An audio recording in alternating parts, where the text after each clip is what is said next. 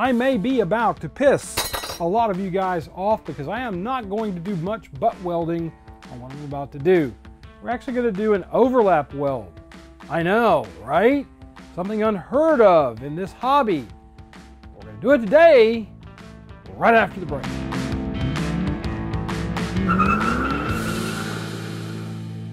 Restoration of a classic Ford is a journey of discovery. Let Autocrafters help you with yours. We offer quality parts for Falcon, Fairlane, F-Series, Galaxie, Maverick, and Pinto. Contact us today. All right, so we're going to be working on the backing plate on the Ranchero today. Now we've already got some of our, our backers put in. This week what I'm really going to concentrate on is showing you guys how to do what we're doing here. Now what I'm going to be showing you is actually a current technique that shops use when they're putting a new piece on another piece, like if you're putting a frame rail insert in or whatever. We're also going to be using the same technique when we do the frame rail on the passenger side of the 65 Ranchero. But what I wanted to go over a couple of salient things that you need to know. Now, I'll show you this right now. Now this basically is our piece of metal that's going to be going in here. You will note that I have it marked as Exhibit A here on the inside of the uh, inner or the uh, panel here. And what I'm going to do is, is I went in and I put a line across the bottom back so I would know how far down I could put my holes for my spot welds, or some people call them, plug welds. So that's the first thing I wanted to talk about. The next thing I wanted to talk about is you'll note that everything on here is nice and shiny. Even the area around the plug spots, I went in and ground those down to get them nice and clean. On the Rancheros, there's a seam sealer that's right here along where this panel comes in. This was actually one piece that was put together, but for some reason there was seam sealer here. Always make sure you clean that kind of stuff up because it will contaminate your welds. Uh, and really that's it. What I'm going to do next is I'm just going to go ahead and put my plate in. My A is up on both ends of it. It's up on one side and the other. And I'm going to set this in here and clamp it in place. I'm trying to get as close to the bottom of this brace as I possibly can.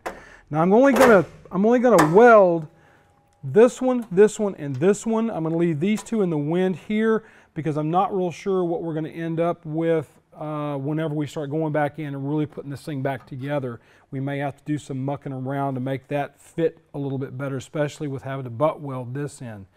So we're going to be doing a combination here. We're going to be doing a little bit of butt welding, but we're also going to be doing a quite a lot of overlap welding where we're basically putting two pieces together and using this thing as a heat sink for what we have. Now I'm going to go over to the tabletop and talk to you about how we got to these pieces that are all the way out across the back plate of this using this and the other piece. Huzzah! Good thing there's not a headliner in there. All right, so what we're going to be doing here is this is the plate that goes in on the back wall where we've put in our uh, backing plates. Now this is the top section of it and this is the bottom section where the L bracket normally goes on a 64, 63, 60 even Ranchero. One of the things that caused Ford a problem and caused people a problem after a little while was the fact that these were basically just filled up with sealer that would go away after a little while and with that being the case you would get water inside the what they call people call the smuggler's wells and basically Ford didn't do anything with those until later. They, in 1966 when they changed to the larger format Fairlane, they took this section here and basically opened it up and made it so that you can access that. The other thing it did for them then was it also made it where it breathed a little bit better so it was less likely, less likely to rust out in those areas. Most of the time if you have a ranchero with rust problems, it's probably not the cowl. It's actually probably going to be a lot of it in the back areas where, as guys call them, the smuggler's wells are. You'll notice that this one, the bottom edge of it's pretty badly eaten out on both sides. Boom, there you go. What we're going to do though is we're going to use this as our plating that we use to be able to weld this back in. And you'll notice that there's coves between each one of the larger coves here. And these coves right here, uh, we just cut those out and left a space there. That's going to allow us to put our separator plates in that we got from the guys at Harbor Freight. They're just the little clamps that you put on there so you can put those in there in the spaces where these were at. It'll hold the panel at a good spacing for your welding. Um, and then this is just going to go right back in there, but like I said, I do need to go in and fix this spot right here. There's a little dingle here where something sharp hit it probably in the eons that this thing's been on the road. So we're going to flatten that back out, make that nice again, and then we're going to put this thing in there, clamp it in place for you, and show you what we're going to do with the weld up. Uh, first thing that I'm going to do after I get this cleaned up and, and flattened out is I'm going to weld in the brace for you though.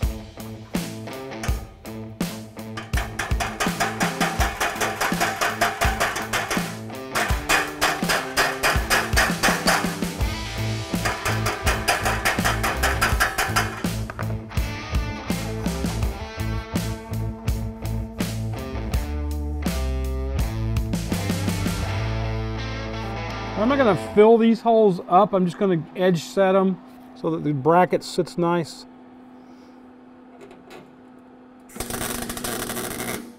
Got a nice sizzle.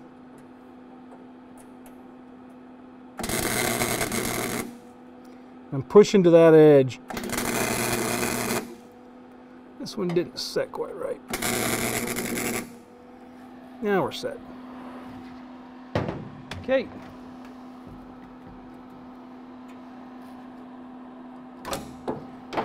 I'm having to give Andrew a Andrew's helping me. Say hi, hi Andrew.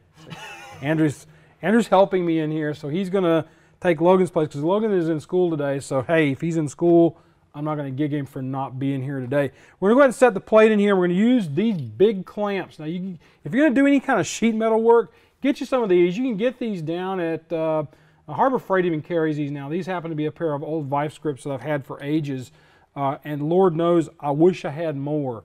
But we're going to set the plate up and I'm going to try to put one of these clamps like this in there so that we can put it right here so we get the gap we need for doing our weld. I'm going to put the plate up and the plate goes to the back side of it like out there.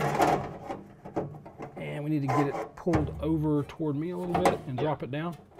Drop it down until it's right on that, right below that line there. Go. Okay. Sprung, sprung, sprung, sprung. Okay. Get it on the bottom plate here. Now I'm gonna probably see if I can pull it down just a little bit. There we go. I'm gonna stick, drop it just a little bit, Andrew. Stick that in there, and now you need to pull yours down and set the plate on your side and I'll put one of these like right here. Okay. Now push that uh, up against the metal yep. and get your clamp on there. I got. I'll hold this. You you clamp it there, okay. and uh, just clamp it down below that. There we go. Okay, and I'm going to go in and I'm going to start working the set on these. I'm going to have to drop your side just a little bit, but now I've got it in there. I can mess with it. Um, what I'll have Andrew do now is we're going to go on this side over here I'm going to give Andrew one of the bars. Take a bar, go around to the other side, and we'll set this one over here. It's not going in. It's not going in? Let me give you some more. Give me, feed me a little bit. There you go, right there. There we go. All right. Perfect. Got it in there? Yep. Okay, I'm to tighten it up to the top, and I'll pop it in there with a hammer. There we go. Okay, and I'm going to need to tap that into place a little bit. I'm gonna go over here and work this side. I'm gonna just work my way through here and get all of these, uh, the spacing on all these set and get these clamps in between as many of these as I can. I was originally gonna try to make this all one big strip and just use sheet metal screws, but I decided to go in and do it this way. This gives me the space on the back side of this to go in and weld to the cleats that are here. All right, we got everything set up. We've got our um, clamps in here that separate the panel enough to give us a good weld to point.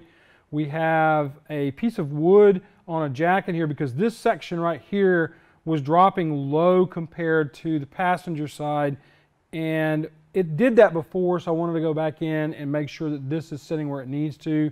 Clamps are tight. Uh, we have a tight spot here uh, on this first rib um, from the outside of the car. This one right here is probably where we'll put one of our tacks.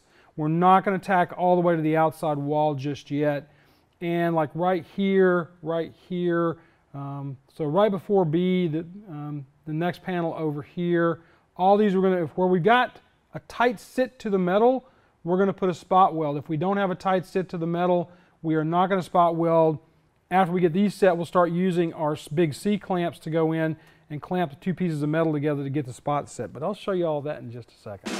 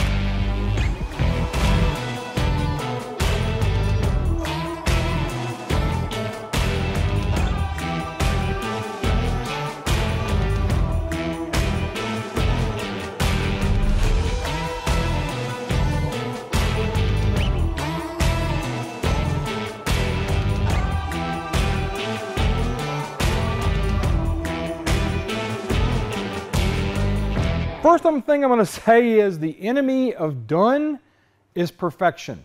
Because if you try to make everything perfect, you're never going to get finished with your project.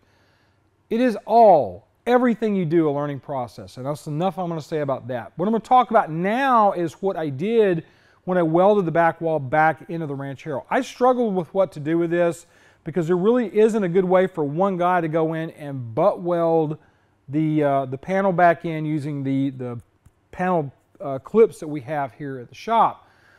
And I'm also going to say that there are about 75 million different ways to do things. You're going to, it's like a plumber coming into the house talking about the last plumber that was there saying, this guy sucked, but I'm really good. And then the next plumber that comes into your house says, that guy sucked, but I'm really good.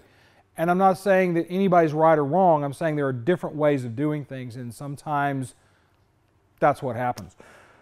What I chose to do here was based off of the class that I took with Larry Shirley at Finish Masters. Finish Masters had some classes on bodywork. This was a method they used for putting frame rails together and panel setups on cars. So what I'm going to do briefly is I'm going to talk about that. Now what I have here is four washers to symbolize my welds. I'm going to pull these three out. This washer is my first weld. Now there's obviously not a hole in the center of it, but there's that first weld.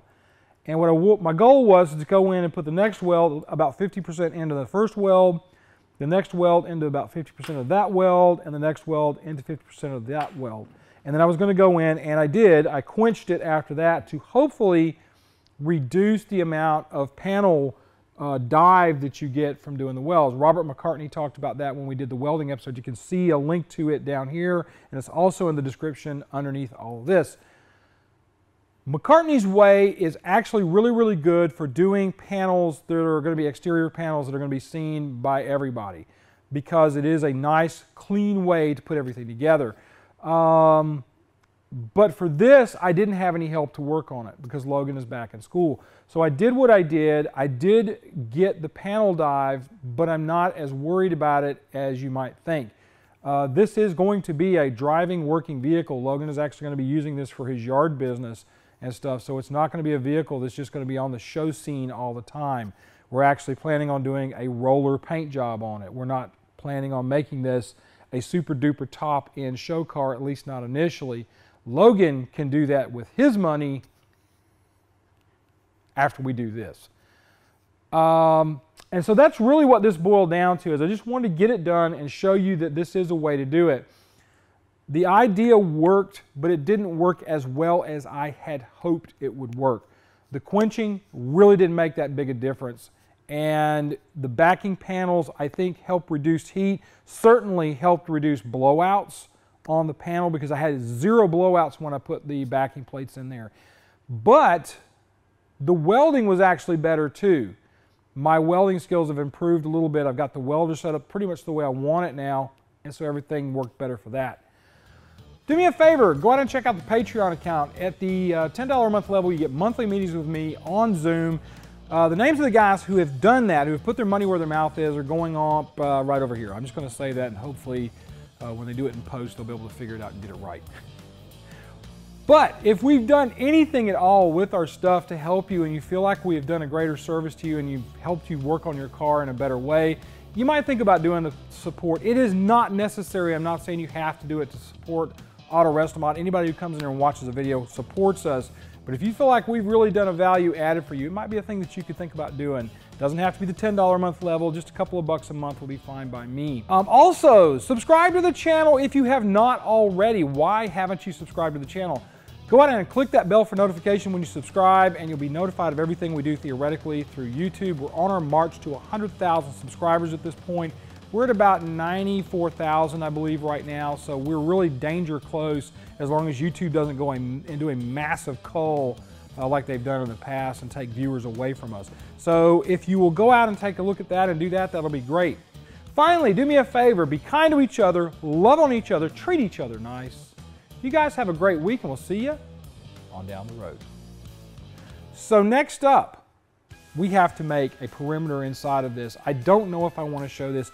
Let me know in the comments below, folks, if you want to see us set up the under, uh, under piece that we're looking at doing for the Ranchero for him to have wells underneath there to put stuff in. Because, you know, he's going to stuff crap in there and, and eventually it's going to rust out because he's going to have clothes in there that stink. Know, it's going to smell like a boy's room. But if you want to see us build and develop that, I know it's going to be really limited, but it's kind of like, you know, if you like watching the show, maybe you want to see that, let us know in the comments below. You guys, see you later.